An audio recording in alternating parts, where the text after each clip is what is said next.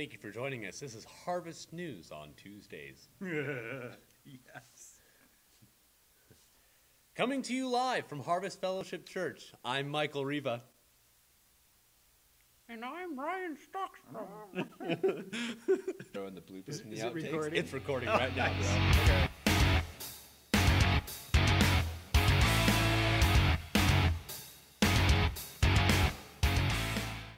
Well, hello everyone. Welcome. Mr. Mike Riva and I are here to join you for our weekend in review. And uh, we had another great Sunday this week, didn't we, Mike? Yeah, it was pretty good. It was. I think we were talking earlier, and you said it had a great atmosphere. Yeah, definitely. I feel like there was a good energy um, um, from worship down to the message. It was just a great energy in the building and and uh, good fellowship afterwards. People talking and hanging out, and was just all around pretty good Sunday this week. Nice. And I, I was able to host the Next Steps class, which is kind of like our intro to harvest class. And we talk about where everyone's at in their faith journey. And uh, we had four people join that class, and it was a really great connection time. Yeah, yeah. Yeah. And and speaking of atmosphere, like that is one thing. Like I, I don't want to knock like people watching online because I, I feel like that's a vital part of our ministry now, um, especially for those who have never stepped foot inside these doors. Um, but that is one thing that you miss out on when you can't attend in person, right? For sure, there is a, a completely different feel. Spending enough time at home, you know, due to quarantine and whatnot, um, watching from a computer on your couch or whatever, to being in the building, completely different feel. And you kind of lose out on the aspect of fellowship too. Like that's one of the biggest things that I get from church is just being around people that want to be near you, right? Want to love on you. So Yeah, and, and who also have that same passion for Christ. yeah, Yeah, for sure. Yep. Awesome. So yeah, so weekend interview. Uh, Miss Tammy Jensen led worship again this week. Uh, great worship set. Um, what were those songs again, Mike? Uh, first one was House of the Lord, which has become one of my new absolute favorite songs. Mine too. I love House of the Lord. Yeah, Phil Wickham has just got a, a way of writing songs that are, uh, I don't know, they just carry such an, a powerful genuineness to them. Um, and then we did Child of Love, which is just a sweet groove in that song. Uh, really good feel to it as well. It kind of feels retro, doesn't it? Yeah, Kinda- almost like something out of the '70s. Yeah, I think I said that yesterday too. It's almost like you're listening to an intro to an 80s or 70s and 80s movie. Um, uh, but it's a great song, great lyrics, um, great meaning in it. Great meaning. Death was arrested. That was our third song, which another incredibly powerful song, especially when it comes to worship. Um, and then lastly, um, Graves into Gardens, Oh yeah. another one that is so moving that I absolutely love. Uh, Power, powerful song. Powerful Yeah. truth. yeah, and, and I really like they, they pull from scripture quite a bit in there. You know, Graves into Gardens, um, bo- turning bones into armies, splitting the sea. You know, they talks about so many powerful things, um, incredible, miraculous things that I feel like lose lackluster because they're just you know some people almost think of them as folklore or something you know fairy tale stuff because we don't see that necessarily so much today, but. It's such a powerful truth, scriptural truth, and so it's nice to be reminded of that and, and Yeah. come into worship with that. Amen. Amen. And I, I felt like um, kind of the theme of, of thankfulness and God's supply and sufficiency ran through a lot of those songs. And probably because I, you know, was preparing for the message and I, I caught those as we were singing. But, um, you know, so so this week, uh, my message was actually inspired. I titled it "Be Thankful God Has No Shortages."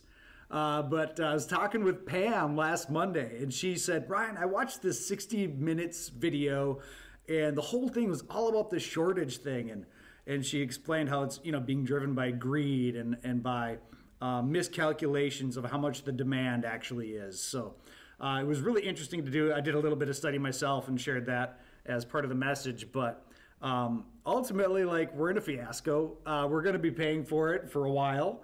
Uh, add in the the inflation problem we have right now, and um, man, life's getting spendy. What do you think, Mike? heard that. Well, Not only that, but speaking of shortages, I mean, going to Walmart even, um, just doing our normal grocery shopping and, and shelves are empty.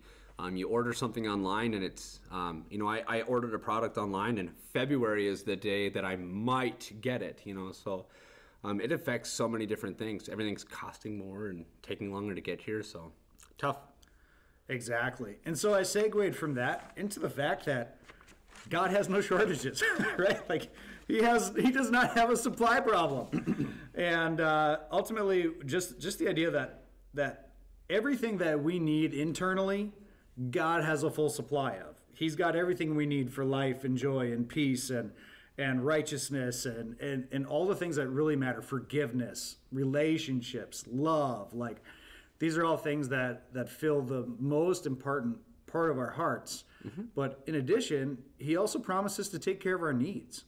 And and um, not to keep not to preach again but just j- it, if you get a chance this week read matthew 6 because i think like matthew 6 it, it incur- jesus is talking he's saying why are you worrying about what you're going to wear and what you're going to eat and and all these things. And and basically it's a call to trust god to care for our needs and be our supply with our physical needs as well.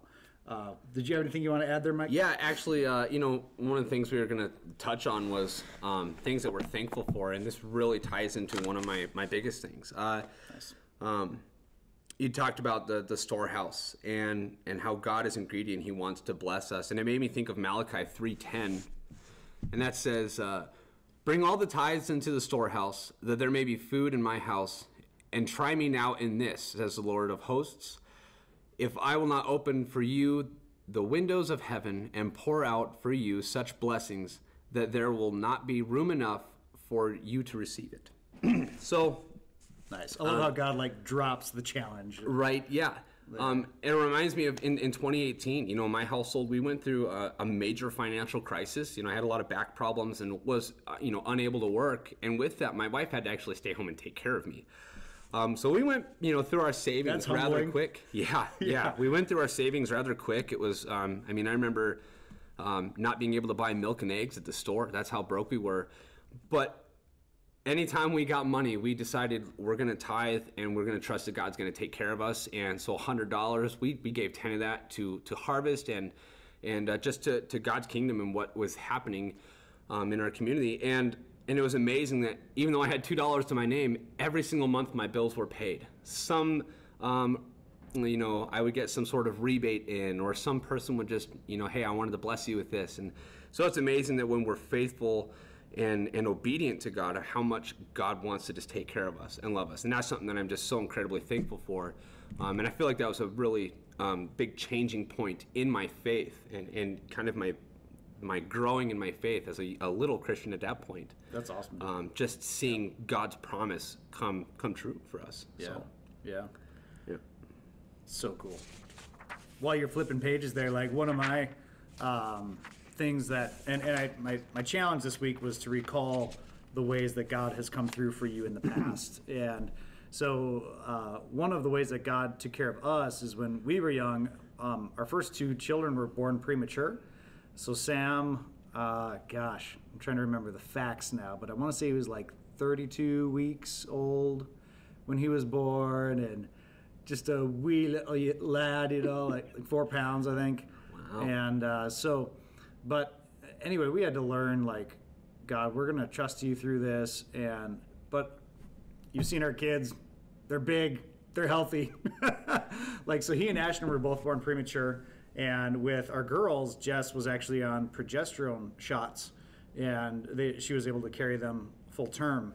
But um, you know, just uh, amazing thing how God took care of us, and like that was the first time that uh, I, I've, I had heard it said that when you're going through a major struggle and people are praying for you, that you actually sense the prayers of the people who are praying for you. That was the first time I'm like, wow, somehow I know God's got this, and and I really could sense the support that we were receiving in prayers. That that was definitely that's definitely one of my top uh, number one uh, ways that God came through for our family. Right on. Yeah. Uh, it'd be a shame if I didn't say this one. My, my number one um, would be our son Anders. My wife and I had a, a beautiful baby boy in July of 20. July of 2020, so super awesome. He's a COVID baby.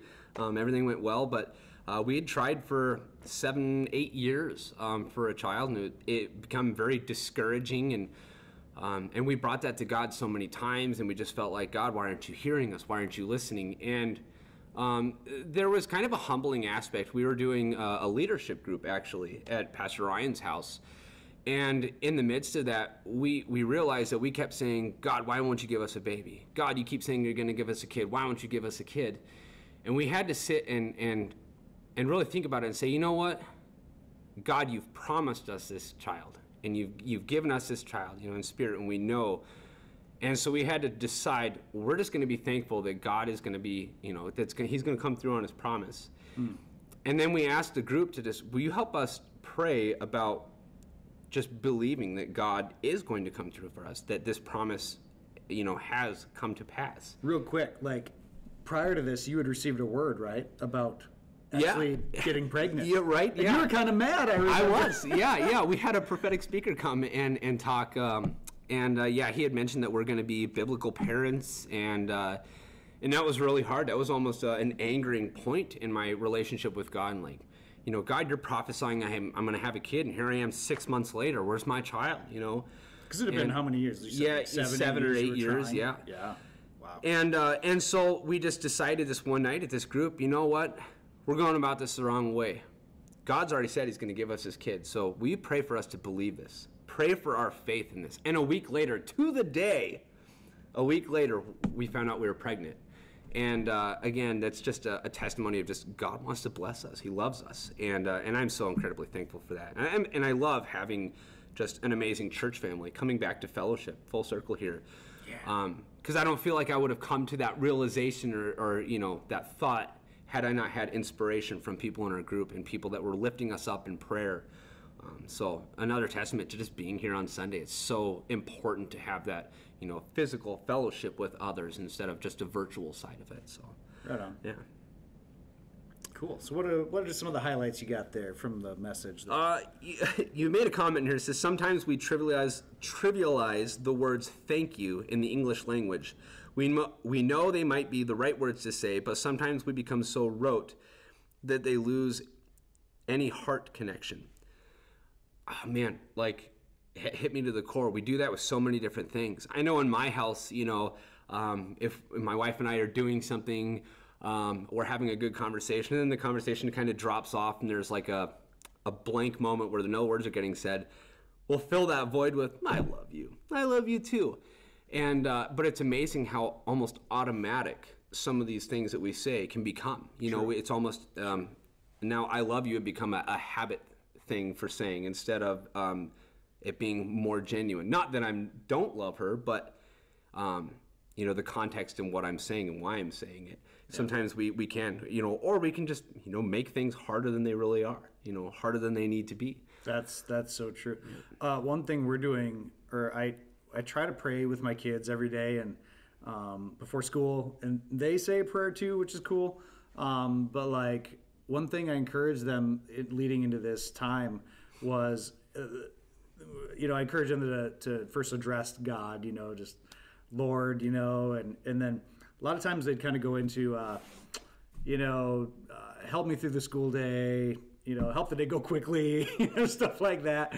And I said, hey, why not instead of going there directly, why not the first thing out of your mouth be thank you, you know? And and they've been doing that this week, and I I think it's been making a difference. So, Yeah. I, you know, actually, it's funny because I, I used to take my prayer time, and it was more of a wish list than anything. oh yeah, and, and I, that, I, I right? right yeah so yeah. yeah like like god help me through this day god i have this problem coming on um, can you help me with it lord uh, take care of my money problems and and uh, yeah god is blessing me in all these other different ways and i'm not even acknowledging the fact that god has blessed me you know um, i've got a roof over my head. I've got a beautiful baby boy. I've got an amazing wife who took care of me through my whole um, process of having a back problems. And and uh, so yeah i think it's so important to um, make sure your prayer life isn't just a wish list that you're giving god that um, we're giving um, praise and recognition to god for the amazing things that he's done in our lives. Yeah. Amen. yeah Good. Let's uh, let's do one more highlight, and then we've said our probably our number one things that we've that we're thankful God has brought us through, and uh, we're just going to do our top three together here today. But uh, let's hit one more highlight, and we'll.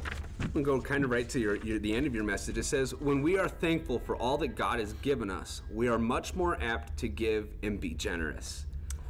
And I don't really know how I could even you know expound on that or even make that any better than it is. You wrote that so stinking well. Thank you, man. Yeah, um, and it, I, I agree with it. You know, like when you when you start to um, take time to recognize the things that God has done in your life. Um, uh, for example, my sister had done this, and I absolutely love the idea. Um, she would go home and she would write down, if I had this, my life would be better, or my life would be so much better if, and then she would fill in the blank. And she did that for a week, and that list just got super long.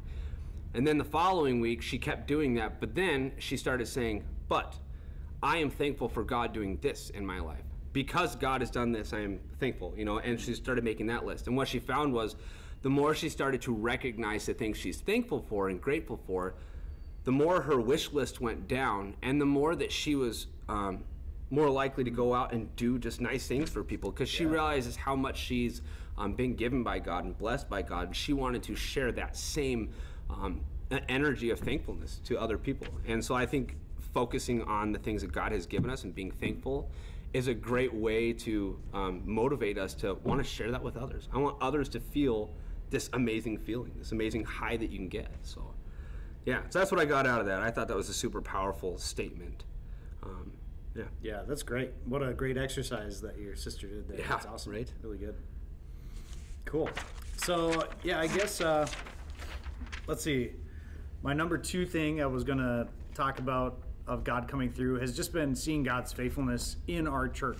Like, um, it seems like there's been needs or people that have moved away or whatever the case, and it's like, God, who are we going to get to take care of that? Like, how is this going to happen? And let me tell you, within six months, usually, God is like, someone new has come to the church, someone has stepped into a role, someone has uh, come through. And I just came to the realization, I don't know how long ago, probably five, six years ago, that like, God loves his church more than I ever could.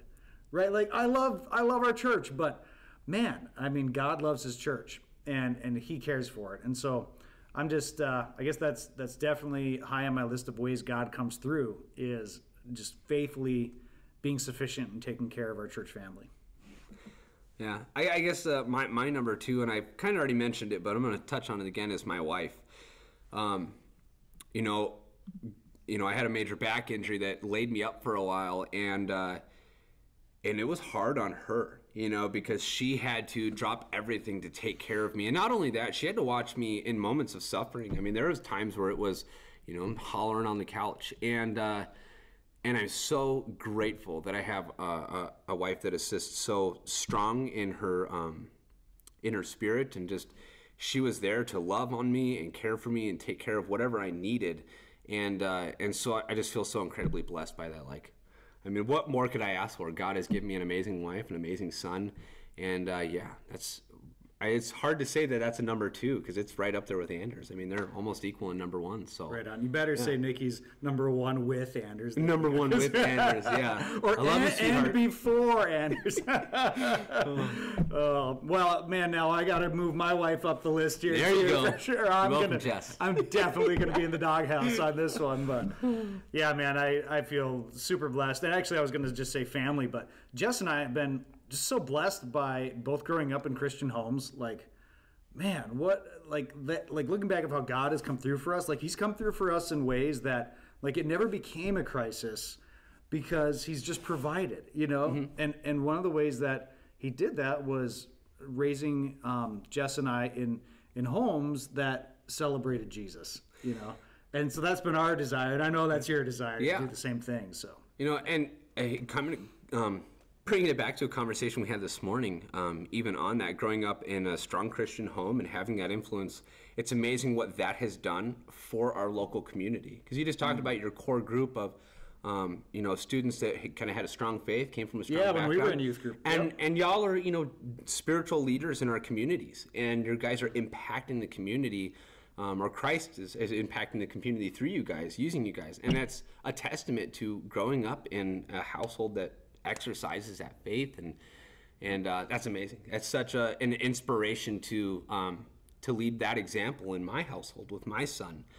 Um, so what you teach your son is what your son's son learns. As a, a quote that I heard the other day, what you teach your son is what your son's son learns. That's good. And uh, so, um, why not teach him about the good news, right? Yeah, absolutely. It's And and I would say again, like, uh, seems like a lot of themes are kind of going full circle here today. But like the idea of like attending church as a family, like that's something we did as a family, and it, it kept our faith, um, you know, strong throughout all these years. And now I have the privilege of preaching to my childhood pastor. Little intimidating sometimes, but uh, Doug and Gail Alstein attend here, and um, uh, just a huge blessing to see that come 360 and where he influenced and led really helped my father grow up into the ways of the lord who then taught me uh, and now to me um, having the opportunity to preach um, with with them and the congregation is it's it's pretty just awesome to see how god his plan is family right, Right. it Yeah. it's like let's let's grow the nucleus family at home and use that to spread the gospel through the world and the church family and yeah anyway i'm Yeah. i'm preaching again You know, Sorry. and that's almost prophetic in a way. I mean, i if you look at it from Doug's perspective, you know, he, you were, you know, this big, and now Uh-huh. you're preaching. I mean, think of the opportunities, you know, just with families in our church. How are you impacting the families, and how are you impacting the children in those families? And one day you're going to be sitting in a congregation with a child that you knew in release time Yes. preaching. I mean, Come you know, on, I yes, mean, let that's. That's cool. Yeah. I mean, what a, an awesome cycle, and you know, like you said, kind of full circle, 360 on that. Um, what is to come? crazy That's yeah, right. What is to come? That's that. so exciting. that's really cool Yeah. good well i think this is a good way to wrap it up right. our themes were like this, but uh, hopefully you got something out of it today. We did have a great Sunday. It was a good time to be together in the Lord. Um, invite you, obviously, you're welcome to come and join us every week. Uh, we love you participating online. If you're not ready to take a step in the church door, like, we get it. It can be intimidating. But I also know numerous people who are like, I'm so glad I took that step. right. Right? Well, Pam, uh, actually, our children's uh, ministry leader, and she's one of them. She leads our release time, and and uh, she's absolutely amazing gal. But I wish I would have come earlier. That was like her one of her biggest comments that I've heard. She followed us online for a while, and she finally got the nerve to come in. And I wish I would have come earlier. And so, um, just hopefully that's a little inspiration. We want to see you on Sunday, and yeah. Right on. Yeah. Form that bond, have that fellowship and relationship. And so, with that, thanks for watching with us today, and God bless you. And um, have a happy Thanksgiving, right? Yeah, That's in like two days. Two and a Holy half days. smokes! Yeah. Ah, I need to go buy a turkey. Right on. Have a good one. Thanks, everyone.